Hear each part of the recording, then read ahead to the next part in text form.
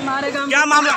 प्यार अगर परमान चढ़ जाए तो कुछ भी करने को तैयार हो जाते हैं आशिक जी हाँ ऐसा ही एक मामला राजा बाज़ार के पिलर नंबर छिहत्तर के पास देखने को मिला। दो आशिक जो है सड़क पर ही पूरी तरीके से तमाशा करते हुए नज़र आए। उनके परिवार वाले का भी अलग जिद है। लड़की के परिवार वाले का सीधा तौर पर आरोप है और कहना है कि दोनों अलग जाति के हैं और अंतर्जातीय विवाह करना चाहते हैं, जिसके खिलाफ पूरे परिवार वालों ने लड़का को बुरी तरीके से पीटा। ये तस्वीर देखिए कि किस तरीके से राजा बाज़ार पिलर नंबर छिहत्तर के पास पूरे परिवार के लोग, लड़की के परिवार वाले ने लड़का को समझाते हुए नज़र आए। उसके बाद अंततः नहीं माना तो लड़का को बुरी तरीके से पीटा गया।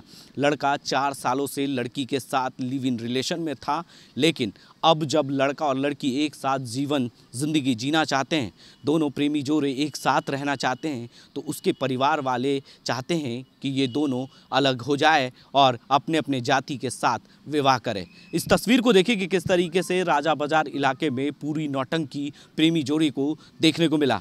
पूरा परिवार जो है लड़की को समझा रहा है, लड़के को समझा रहा है, लेकिन लड़का लड़की मानने को तैयार नहीं है। लेकिन अंततः जो स्थानीय लोग हैं, उनके सहयोग से महिला थाना लाया गया। जब हमारी कैमरे उसके नज़र पर पड़ी तो कैमरे पर भी हाथ रख दिया उन्होंने। लड़की के परिवार वालों ने कैमरे पर ही हाथ रख दिया और सीधे तौर पर दबंगई हमारे कैमरे पर दिखाने शुरू कर दिए। कुछ लोग स्थानीय हैं, जिनके सहयोग से महिला थाने लाया गया है। हम उनसे बात करेंगे और जानेंगे कि पूरा मामला क्या है, आखिर क्या वाक्य हुआ था राजा बाज़ार इलाके में। ये दोनों तस्वीर आप हमारे स्क्रीन पर देख रहे होंगे कि किस तरीके से इनके सहयोग से महिला थाने लाया गया। आखिर पूरा मामला क्या है, इनकी जुबानी कहानी जानेंगे कि आखिर क्या हुआ था। क्या हुआ था भाई साहब वहाँ पे? हम रोड से जा रहे थे देखे कि बहुत भीड़ जमा हुआ है। हम्म। लड़के लड़की दोनों एक दूसरे के हाथों में हाथे डालकर खड़े छोड़ नहीं रहे थे और लड़की के परिवार वाले लड़के को बहुत पीट रहे थे। हम्म, हम्म। हम लोग ने बोला रोका उका सब कि भाई क्यों मार रहे हो क्यों मार रहे हो? तो बोला कि हम लोग प्रेम करते हैं ये लोग हमको गाँव ले जा रहा है ज़बरदस्ती।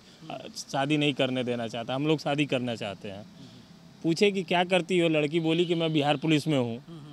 लड़का जॉब करता था, मगर प्राइवेट ही, मगर वो अभी छोड़ दिया है। उसे डेंगू हो रखा है। उसका प्लेटलेट अभी फोर्टी एट है। तो हम लोग ने देखा कि इतना मार रहा है, उस परिवार के, लड़की के परिवार के कम से कम बीस लोग आए हुए हैं। उन्होंने इतना मारपीट उसके साथ किया कि हम लोग को देखे कि मोहल्ले में हम लोग का ऐसा किसी तरह का क्राइम हो रहा है वो एक तरह से मारना। तो हम लोग बोले कि भाई इसको पुलिस के हवाले कर दिया जाए उनका फैसला वही करेगी। हम लोग इन्हें में उन्हें बैठाया और ऑटो पे बैठा कर लेके आके महिला थाना में हमने दे दिया उनको। लोग कहाँ के रहने वाले ये कुछ मालूम चला है कि छपरा ज़िले के दोनों रहने वाले हैं। अगल बगल गाँव के दोनों का ये प्रेम चार साल से चल रहा है। लोग बहाली में ही बता रहा था लड़की लड़की ही बता रही थी कि हम लोग बहाली में मिले थे और उस समय से लोग का प्रेम चल रहा है। आपके साथ भी कुछ हुआ क्या? नहीं नहीं हमारे नहीं नहीं हमारे साथ कुछ नहीं हम में कोई लाने में वो लोग बोल रहे थे कि नहीं ले जाने देंगे इसको गाँव ले जाने दीजिए। हम लोग की नहीं गाँव क्यों लेके तुम जाओगे? वहाँ से थाना से कह के लेके चले जाना हम लोग दे देते हैं दे दिए हम लोग। तो देखिए, स्थानीय लोगों के सहयोग से थाने लाया गया है। महिला थाने में दोनों लड़का लड़की प्रेमी जोड़े हैं, यहाँ पर मौजूद हैं। अब थाने के सहयोग से दोनों की शादी भी कराई जाएगी, ऐसी खबरें निकल के आ रही है। लेकिन लड़का छपड़ा ज़िले का रहने वाला है और लड़की भी छपड़े ज़िले की है। दोनों बाई कास्ट हैं अलग अलग जाति है, अंतर्जातीय विवाह करना चाहते हैं। चार सालों से जो राजा बाज़ार के मज़ार गली है, उसी में रहते हैं। कुछ और लोग भी हैं, उनसे भी हम बात करते हैं कि क्या हुआ था पूरा मामला उनसे भी बात करेंगे और जानेंगे कि आखिर उन्होंने क्या देखा राजा बाज़ार इलाके में जब इस तरह की घटना घटी तो स्थानीय लोगों के सहयोग से ये घटना को पूरी तरीके से महिला थाने लाया गया। पहले लोगों ने डिसाइड किया था कि शास्त्री नगर थाने ले जाएँगे लेकिन ये मामला महिला से जुड़ा हुआ था इसलिए महिला थाने लेकर आए। क्या मामला हुआ था? आखिर क्या आपने राजा बाज़ार में देखा? मैं वहीं पर खड़ा था देखा भीड़ लगी हुई है। हम्म, हम्म। तो वहाँ पे गया फिर बाद में पता चला कि लड़का लड़की एक दूसरे के साथ है। हम्म, लड़की वाले के फैमिली वाले आए हुए थे। लड़की को मार रहे थे। लड़का अकेले लड़का अकेले था। तो फिर कुछ देर समझने के बाद पता चला कि दोनों एक दूसरे से प्रेम करते हैं। हम्म।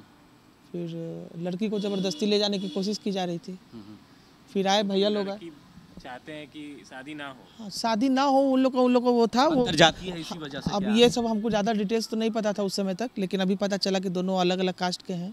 लेकिन फिर बाद में पता चला कि लड़की वाले उसको ले जाना चाहते थे। बोल रहे थे कि बाहर मतलब गाँव पे ले जाके शादी करवाए। और फिर लड़की लेकिन मान नहीं रही थी, वो बोल रही थी कि घर नहीं जाएँगे और हम इधर ही शादी करेंगे।